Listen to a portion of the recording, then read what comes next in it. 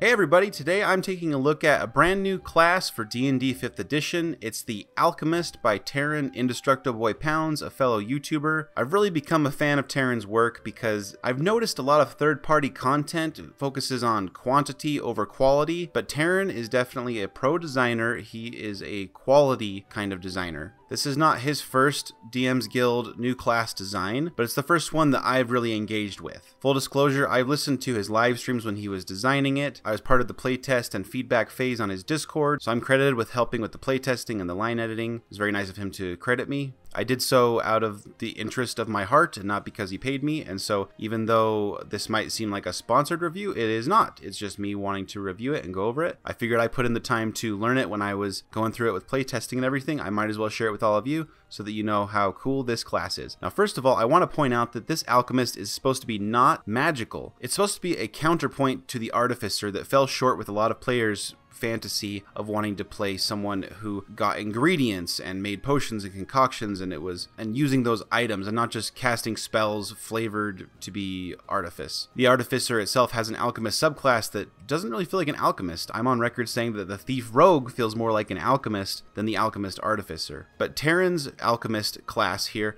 feels like what I want in an alchemist. It's got that rustic RPG feel. It uses existing 5e mechanics and doesn't try to ignore them or circumvent them. He really did his homework, and this PDF includes a lot of content to go over the rules as they are and kind of summarize them from different books so that you're not just going in blind. I'm very impressed with his thoroughness and the end result of this class, so let's take a look at it. This class is available on the Dungeon Masters Guild. I'll provide an affiliate link down below, so if you do buy it, it's $9.99 currently. I would get a small cut of that sale, which is always nice. So the more you want to support our channel and the more you want to support Taron for his class and you want to support quality third party creation, definitely go check it out and give it a buy. So here he goes into the general vibe of this alchemist, what it generally looks like to play this kind of alchemist. The actions and bonus actions you'll probably be using in combat. Notice the action is use an object, not attack. Bonus action is a special ability called Catalyze. You're going to probably be something of a midliner because your range isn't super high for these sorts of potions and concoctions, but you're not a melee user, though one of the subclasses does use melee, so we'll get to that. So let's go through here. Um, creating an alchemist, there's a general notes, it's a d8 class, so not quite wizard sorcerer level, more like a warlock, rogue, monk sort of feel. You got 5 ASIs, so they're pretty standard. It's an intelligence based character that isn't a wizard, so that's always good to see. Light armor, simple weapons, plus blowguns, because that just kind of feels like you can do some fun with blowguns with your poisons, perhaps, because there is a poison subclass here. Saving throw proficiencies are Constitution and Intelligence. There's multi-classing rules here where you have to have at least a 13 in Intelligence. So I like that Taron doesn't just ignore the fact that multi-classing is a thing. Sometimes I see classes designed where they take no account for multi-classing and how you can do some pretty crazy combinations. But I've seen Taron actively change his designs based on realizing certain synergies with certain multi-classes that he didn't want to be possible. So he's very mindful like that. So going through here, I've highlighted things in yellow that are kind of mechanical clarifications, how many times you can use it, how it works with the rules. And the blue is very much like this is the sort of mechanic that is going to define the way you play the class. I'm not going to read all of these verbatim you can go check out the preview if you want to do that, but I will sum up what makes them cool. So, Experimentalist Adept makes it so that you can provide 5 gold worth of raw materials to craft any alchemical item you know the formula for that is worth 50 gold or less. So, part of this class is kind of like a wizard learning spells, you learn alchemical item formulas and you can craft them much cheaper than they would normally be because many of them are like 25 50 gold if you were to buy them with the quoted prices in the player's handbook or whatever book they come from. But you can craft them for 5 gold and you can craft them during long rests there's a certain amount that you can do based on your intelligence modifier and your alchemist level here. And you basically have expertise in alchemist supplies. So going over here, you know a few basic formulas, which are acid, alchemist fire, antitoxin, basic oil, perfume, soap, and then two more of your choice, and each time you get a level, you learn another formula. You can also find potions and alchemical items to learn their formulas, so very much like wizards can find scrolls or other wizards' spellbooks and learn from those things, the spells, you can learn alchemical items by finding them. And then Catalyze here gives you a bonus action for your action economy. that allows you to quickly create an alchemical item that has a very short shelf life of one minute, basically only to be used in combat. And I highlight red here so that you can see what is the limitation on the ability. So you have crafting of alchemical items, and you also have the ability to very quickly craft them in combat as a bonus action, though you will not be able to use them after one minute. They become benign. And then we're going to enhance our alchemist abilities with potency, but it's kind of like how a crossbow expert makes it so you don't have disadvantage on people being next to you making those range attacks. You will not have disadvantage on your alchemical items when people are right next to you. And you can throw them double as far, so even though you're kind of designed to be a midliner, some of your items that normally say like that you can only throw them like 20 feet, for example, you can do 40 feet so you can get a little bit more of a distance bump. And then right here, you can use your intelligence modifier for making those attack rolls with alchemical items. So you don't have to be a mad class with multiple ability score dependency. You can make intelligence your attacking modifier because you are smart, you're placing things right, you're timing it right, and you're very skilled at using your alchemical items. Additionally, if there's an item that has a DC, and often alchemical items have a set DC that doesn't scale throughout the game. It's like 10 and it never becomes anything but 10 or 12 or 14 or whatever. But this allows you to use your alchemy save DC with your proficiency and intelligence modifier for those items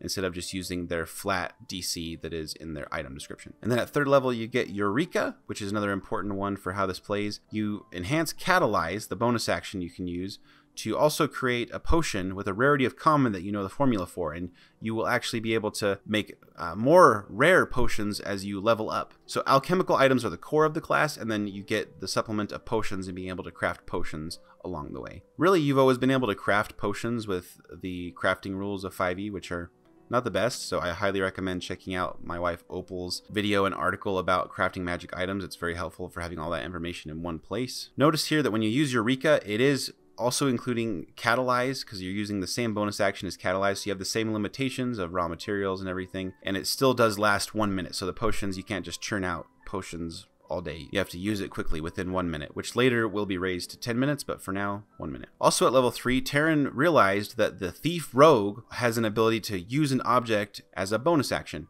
which is a big deal for using alchemical items because the Thief Rogue can dish out as a bonus action and then still use an action. So to enable this class to do the similar thing, this class has methodical efficiency to use a bonus action for the use an object action. So you could potentially throw an alchemical item as your action and as your bonus action at level 3, which is a bigger damage bump than a lot of people realize. If you look at my Thief Rogue DPR, that's one of the kings of third level because of how good it is to just get a bonus action attack reliably as long as you have an item at level 3 without any feats or anything. Moving down here, I think the next big one that you get is at level 5 the Catalyze goes to 10 minutes like I mentioned, and then at level 7 Mix makes it so if you have two alchemical items or potions in hand, and they're not the same, you can use your bonus action with of catalyze, again utilizing the same limitations of catalyze to safely combine them. So you can take alchemist's fire that does damage over time of fire as it burns someone, combine it with a vial of acid so that when they get hit,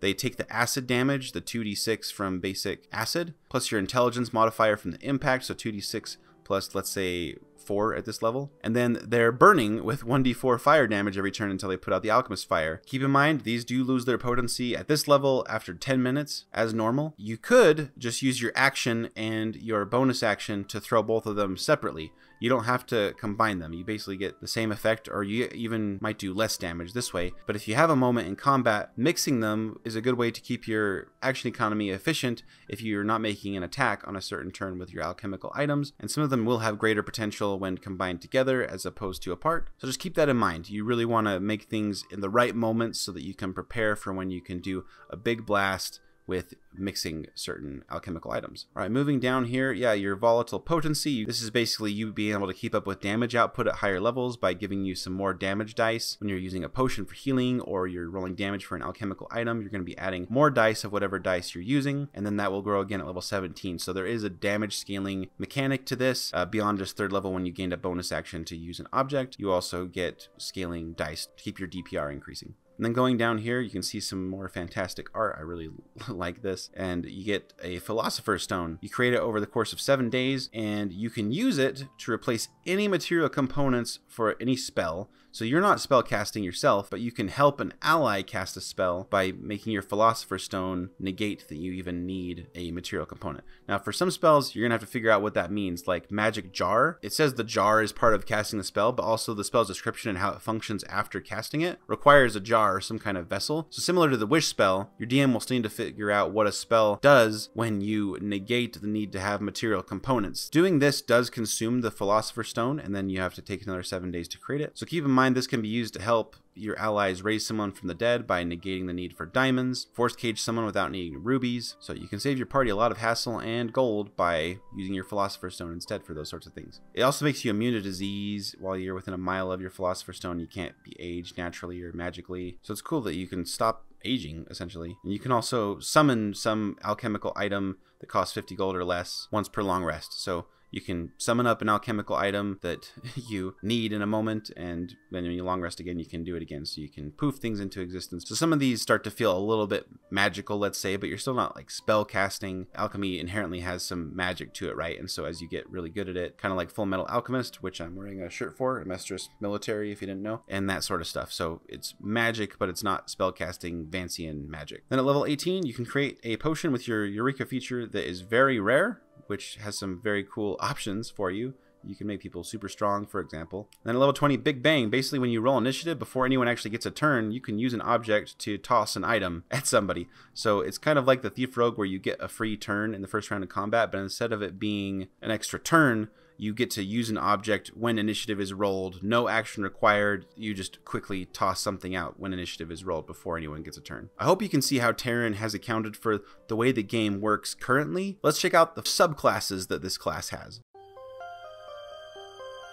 The first one is the Animator. This sort of alchemist utilizes primordial alchemy to create little constructs that are alive. And let's go down here and look at the picture, you can see that they obey your telepathic commands, no action required by you. And this basically works like the Artificer's homunculus infusion that they can do. It's a tiny construct with a little bit of flight, immune to poison damage and the poison condition, immune to exhaustion, so it can so it can go around all day and all night without getting tired. It can keep watch for you, all that sort of stuff. It has an evasion mechanic, and you can infuse it with material components worth 5 gold to enhance it. You can give it Acid Spit, Eagle Vision for Perception, Fur of the Bat for Blind Sight. And keep in mind, if you are a small alchemist, if your size is small, like if you're a Harengon that chose to be small instead of a medium size, this homunculus is tiny, so it can technically grapple you and lift you up into the air with its flight. It's like you have a really slow flying speed because it's going to be moving at half speed 15 feet as it carries you around. You might wonder how encumbrance works, but technically the rules of 5e say that grappling is based on size, not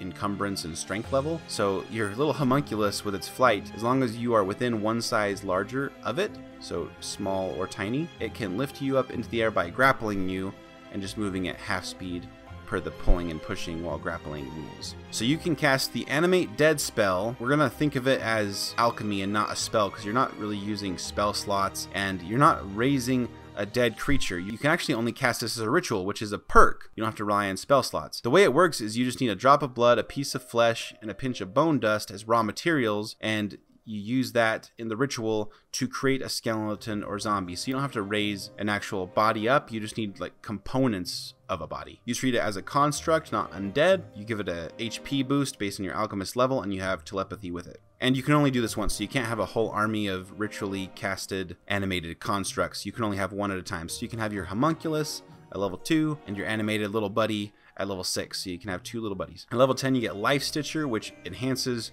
the abilities you got earlier to enhance your homunculus, so more damage to the acid spit, perception, expertise, and basically a flyby effect. It won't provoke opportunity attacks as it flies by. You can give it the leech attack too if you want to fly by, bite somebody, and leech some life from them. And then this is my favorite part right here, level 14, Contemptible Chimera. You take your animate dead construct buddy and your homunculus buddy, and you mash them into one creature. And what do you get? You get a souped up flesh golem. That's right, you get a golem. And I say it's souped up because everything that your homunculus could do, it can do. It has the fly speed, telepathic bond, and anything you gave it through your zoetic theory ability. So your flesh golem can have acid breath, eagle vision, flyby, or if you don't want it to fly, you can give it the climbing speed. I think this is pretty rad, having a flesh golem on your side that you don't have to use your action economy to command. You just telepathically tell it what to do, and it can fly up above and spit acid at people. It's very durable, and the flesh golem itself comes with some downsides. If it gets hurt with fire, it can go berserk and stuff like that, but it's a very tough monster to have on your side. And then you soup it up even better because you're an animator, and it's pretty amazing what you can do. This is one of my favorite design choices in the whole document is this contemptible chimera. It really makes me want to play an animator specifically. Moving on down here, we have the apothecary, the healer, you know, the medicinal herbs. You can take 5 gold worth of components to enhance the alchemical item or potion you make that restores hit points, so you heal better. These two are my favorite that I marked in blue. Powdered silver, the next time the consumer makes a saving throw within the next minute, they can roll a d4 and add the number to the save. And then Troll's Blood. You can give someone a regeneration of one hit point per turn for one minute. So for 5 gold, you're essentially making your healing potion heal for a, a flat 10 hit points more outside of combat or 10 over time in combat, but it stops working if you take acid or fire damage, just like a troll. So Troll's Blood makes sense. Level 6, you get Sweet Sucker. When a creature consumes an alchemical item or potion you administer or create that restores hit points, the first healing roll of the item gains a bonus equal to your intelligence modifier. You also get advantage on medicine checks to stabilize creatures. All right, level 10, Panacea. So the level 2 features you got, they're going to be improved now. So now I like the powdered gems feature because it makes it so if someone is inflicted by any condition, not just poison or disease, that a successful saving throw would end, when you administer your potion to heal them, they get to attempt that saving throw immediately. So you could potentially stop them from being paralyzed and they don't have to lose a turn because you heal them and you get them to shake it off sooner from your healing. Powdered Silver goes from 1d4 on the next saving throw within a minute to 2d4, and Troll's Blood goes to 2 hit points at the start of their turns for 1 minute, and it can restore severed body parts. I like to do lingering injuries, and I've been known to have player characters lose limbs, and they often need to learn regenerate or find someone who knows that spell. But now at level 10, you can restore those limbs. At level 14, you get the ability to make a potion that is basically a revivify, but the revivify can have been anytime in the last hour instead of last minute. And you can save someone a spell slot. And if you die, your allies can take it out of your bag to revive you. So, like when the cleric dies, then and your party freaks out and says, "Oh no, who's gonna revivify the cleric? They were the person who cast revivify." You actually don't have that problem because you just need the item on you, and anyone can administer it to raise someone from the dead. Next subclass is the Fulminaire, Fulminar. This is your bomber, and I love this art of this frog. I love all the art in this, but this frog, I've just heard so many people love this. Everyone, when they see Maxwell's art that was commissioned for Taron's PDF here, just love this bomber frog. So again, you can do 5 gold to make your items stronger. You can add quartz. When a creature takes damage from an item, it becomes dazed until the end of the turn the current turn. Keep that in mind. While dazed, the creature must succeed on a constitution saving throw before it makes an attack or the attack misses. On a success, the target is no longer dazed. So normally you would use this on your turn, and only during your turn is that creature dazed. This will be improved later, but this can be useful for avoiding opportunity attacks, or you could use the ready action to throw a bomb at someone at the start of their turn, so then when they're about to attack someone, they have to make a constitution saving throw to attack. Constitution isn't the best one because often Constitution is strong for those who are making attacks. But yeah, that's Quartz. And then Saltpeter, Saltpeter, it basically takes a single target item and makes it an area of effect item with a 10 foot radius essentially and a dexterity saving throw. So you can make Alchemist Fire be an actual bomb that hits a bunch of creatures in an area and lights them all on fire until they put out the fire. Again, definitely check out the PDF and find all the options here. I'm just highlighting my favorites. And Hit the Deck is kind of like Rogue Evasion, but instead of just avoiding damage, you use your reaction to move your speed and potentially get out of the area of danger. And if you do, you avoid the effect. So it's kind of like what rogues probably should have been, where they make dex saves and they just can take no damage or take half damage. This is you use your reaction to potentially get out of the range of the area of effect you're trying to save against. Then chemical warfare here, nutshells, the area of effect increases to 15 feet instead of 10, and it deals double damage to objects and structures. You can really blow up some buildings now. The dazed effect that you have with quartz ends until the end of your next turn. So for the full round, unless they save on the con save, they will be dazed. If they save on the con save, it ends like right then. Saltpeter makes a single target into an area effect that goes from 10 to 15 feet. So yeah, and then it blows things up better. It's a Mad Bomber type of character, you know? very fun. And then last, I think this is pronounced Salbenist. You basically are like a blade singer and that you have a blade, but you don't you're not magical and you don't dance. You apply oil to your metal blades and the oil like sinks in giving it a sort of magical effect and you can easily combust it into fire and different effects because there's a few different oils that were created for this subclass. Again, we're going to get into some of the items later, some of my favorites. So this is the melee build. You gain proficiency with medium armor and martial weapons that lack the heavy or two-handed properties. You have anointed blade. When you attack with the anointed weapon, you can use intelligence for attack and damage. When you equip the anointed weapon, you can will the oil absorbed into it to coat it, so you can kind of summon the oil out of it that you coated in earlier. There's this empowered oil within the blade that you can choose to have kind of like sweat out of the blade and give you more potent effects in battle. At level 6 you get extra attack, we're all pretty used to that. At level 10, all consuming flame. I think this is so cool. When you take damage of the same type dealt by the oil, anointing your weapon. So if you have a fire oil and you take fire damage, you can use a reaction to reduce the damage to zero. And when you do, you regain a number of hit points equal to total damage reduced. So you take a fireball that was going to hit you, you absorb it to take no damage, and you say, that's going to heal me instead. And keep in mind, you could use this synergistically with allies, where they could drop a fireball on you and your enemies, so you take zero damage, and they heal you with fireball. And if you're at your max hit points where you don't need to be healed, you can convert them instead from healing into temporary hit points, so you're giving yourself yourself a buffer. This is a really cool ability, and you can use it number of times equal to your proficiency bonus, so it's not just a one-off. At this level, I think that's four times you can use it. So you're going to be able to use this multiple times in an adventuring day. That's fantastic. The last subclass is the Toxicologist. You can do desecrated water. Any damage dealt by the item becomes necrotic. Taron is very conscious of how bad poison damage is in 5e, so he gives you the options which are kind of inspired by other designs and from the UA that was originally for Strixhaven to have a subclass that could do poison but also necrotic damage. He's kind of feeding into that. Very smart, I believe. Eye of Newt. While the target is poisoned, you make it so they take 1d6 poison damage once per turn when they get hit with an attack. The more your allies are using attacks, you're adding 1d6 potentially to all of your allies' first attacks in a round. So it's giving you that tick over time Poison damage was triggered by your allies' attacks, or, or any attacks. Very cool. Powdered lead and a flask. The poison becomes a toxic powder or gas that is based on being inhaled. So you can basically turn these poisons into very small area of effects in a five foot area. And then you get Valerian Root while the target is poisoned. Whenever the creature makes a concentration saving throw, it must subtract a d4 from the number rolled for the check. So you're poisoning a creature and making it more difficult for them to concentrate while they're poisoned. This is brilliant. I think that's such a, a smart, cool idea that really helps against spellcasters. At level 6, you gain some abilities to gain resistance to acid, necrotic, poison, even immune to poison, depending on if you already had resistance to it. And you have advantage on saving throws to avoid the poison condition. And I think this is really smart design because it's like if you already have poison resistance and then you get to this feature,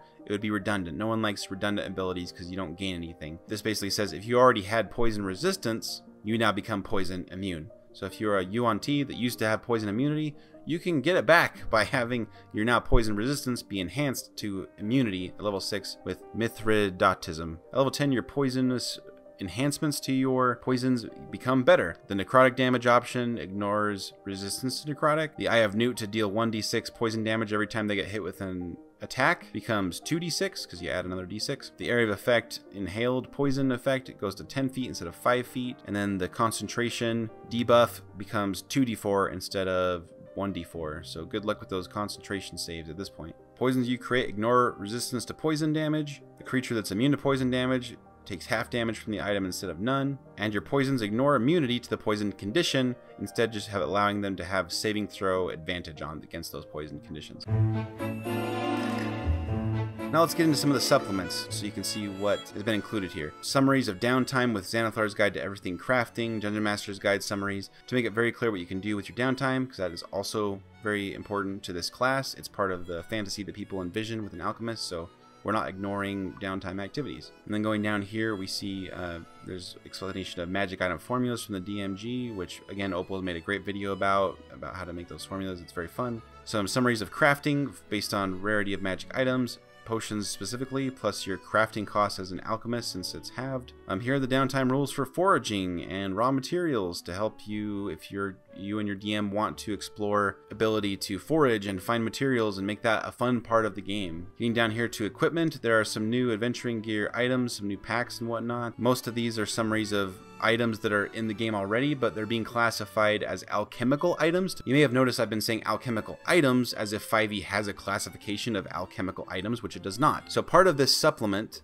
is to classify a bunch of items in the game, plus add new ones that are classified as alchemical items that go with the alchemist's abilities. A bunch of this adventuring gear is just to give you more of an idea of what an alchemist might be carrying, you know? They might have a, a bellows, a brazier, coffee grounds, a crucible, glass cutter, hammock, heat mat, heat suit. You know, these sorts of things are great for alchemists to be using and for you to know, oh, this is something I might have on me as an alchemist, and I can describe myself using them when I'm crafting or gathering supplies, foraging. Going down here even more, more items like magnets, mortar and pestle, tongs, new equipment packs, you know, like demolitionist, detective, astronomer, containers here of whether you're using flasks and cauldrons and everything, more about the herbalism kit. And again, these are pretty much existing mechanics, but just adding in some more items that nothing's going to break the game just to make it more flavorful and make it more clear in one place in this PDF so you don't have to go to your player's handbook and go look for all the different items. It's all going to be here for you. Now let's look at the alchemical items, the big ones. You can see a lot of familiar faces here from the player's handbook, but then we've also got a lot of items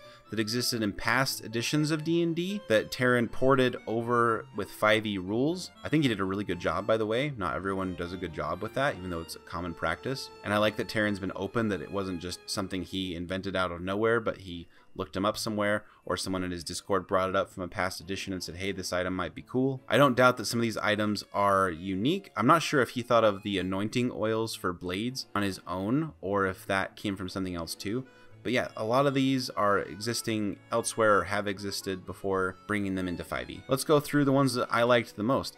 Um, acid as an oxidizing agent, basically you throw it on someone and you give them the rust monster treatment and start to corrode their armor or their weapon or their shield. Going down here we've got uh, Dwarf Blind Stone. It interferes with dark vision, so enemy creatures that are relying on dark vision to see you don't have a light source or anything, you can mess up their dark vision with this item. Frigid Azote. It's kind of like throwing acid at someone because it does a because it does 2d6 and you can add your intelligence modifier as damage to that by the way and you can have their speed until the end of the next turn. So kind of like a good old ray of frost gravebane. You can scare away enemy undead kind of like a cleric turning away undead. You kind of make this white liquid smoke that they're repulsed by. Very cool. Going down here we've got green slime. You can throw it on someone to do 1d10 acid damage they get covered in it until they scrape it off and so it, they're going to take 1d10 acid damage at the start of each of their turns, kind of like Alchemist Fire. Pretty cool. It's a gallon in a pot. Wow.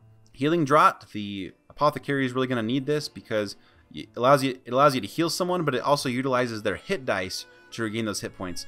So there's still a resource being burned when you use a healing draught, and that's in the form of hit dice. But this makes it so you can heal a lot more with it without it being as lame as a healing potion that's like what 2d4 plus 2 you could roll like 4 hit points healed with that, maximum 10.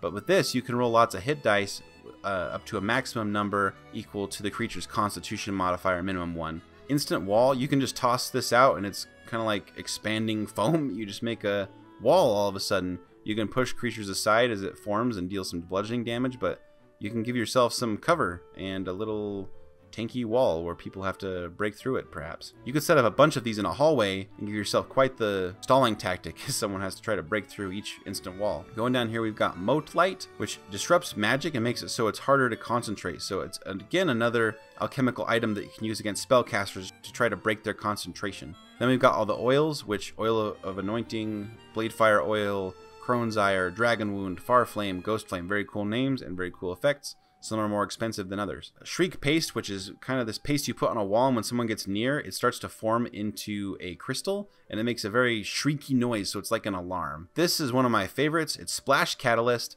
It allows you to take an alchemical item or potion and make it go from a single target creature to a area of effect. So for example, you could take the healing draught that allows people to heal based on their hit dice make a splash catalyst combined with that to make your healing draught an area of effect and all of a sudden you have a healing bomb you can throw out in combat. Sparkstone is a 1d6 deny reaction. Smoke Stick is like a fog cloud, and it doesn't seem like it can really be blown away very well. My, this might be a pretty busted import into 5e, I think, because it's the Tanglefoot Bag. You make a ranged attack, which is more reliable than forcing a saving throw, and if you hit, the target becomes grappled by the goo, which involves being restrained. So it's an attack that you can use to grapple, restrain someone. To get it off requires beating the DC, which would be a 10, but it's enhanced by you as an alchemist, so you get to make it your alchemy DC. So this could be pretty nuts, being able to restrain creatures like that. You could make it an area of effect, like we mentioned earlier, because of this up here, the Splash Catalyst. So yeah, pretty dangerous. And then we've got a Beast Repellent Torch. you can make beasts stay away. That does include mosquitoes, technically. And then a Sentry Torch. It reveals invisible creatures in its bright light. That is super handy. So yeah, that's all the alchemical items. Then we get some poisons, which there's the poison that's basic. I'd like to see more poisons in here, but there are the poisons in the Dungeon Master's Guide already, so make sure you know those. And then there's a truth serum here added. And then going down here, we've got a material components list. So these are what material components are used for spells that gives you something to go off of for you and your DM working with what sort of materials do you need to gather for you to use your alchemical supplies. So these are usually for spells, but now you can flavor them as you as an alchemist are looking for these kinds of items. And it gives you something specific to look for, and you can look at it and be like, oh, I'm in a forest and I really need a caterpillar cocoon so that I can make my tanglefoot bag, just like a caterpillar when it weaves its own cocoon. And then there's also these creature statistics if you want to use alchemist subclasses as NPC monsters, whatever. Here's some stat blocks for them, what they would look like. And I thought this was such a cool touch. And I don't know if this is common on the DM's Guild, but to me, this is so smart to take a class or subclass you design and say, and here's what it looks like as an NPC. So that's the Alchemist. Did I get you excited to play it, or are you not really into third-party content? I'm personally getting more into third-party content, and I'd like to, I'd like to see more of it because the more we embrace third-party content, the more the more we put Wizards of the Coast on their heels to create better content for 5e. A lot of their choices in the last like two years, especially, have been, I think, pretty lazy. 5e already had a lot of problems when it came out, but it was it's been passable. But they are starting to let little problems creep in here and there, and I questioned some of their design choices recently. So let's embrace some third-party stuff. And I think the Alchemist is a great one to start with if you're looking for something that isn't just an artificer, but you like the Alchemist archetype. This is 100% what I would recommend to you. I'm not kidding when I say I'm excited to play this sort of class. I would like to, in my next campaign, try it out. I'd also appreciate if you let me know if there's anything in this sort of review that's more thorough looking at a specific PDF of a class or supplement material. If there's something you'd like to see from me to make this content more valuable for you, because I want to do a good job and not waste my time and yours, so let me know if I can do better. So I've got affiliate links down below to the DM's Guild so you can pick up your copy of The Alchemist. Let me know if you're going to pick it up, because I'd like to hear that I made a difference promoting Taron's work here. And go check out Taron's YouTube channel. He does a lot of live streaming for his design process, and he just likes to hang out, and he goes off on a lot of tangents. And he's probably one of my favorite streams to just go hang out with. Check out my video here about the Thief Rogue, which was my previous favorite way to play an Alchemist, but now the Alchemist has replaced it. But still, the Thief Rogue has a lot of cool stuff going for it. Check out my video on that for a deep dive. Have a great adventure this weekend, and I'll see you in the next video. Bye.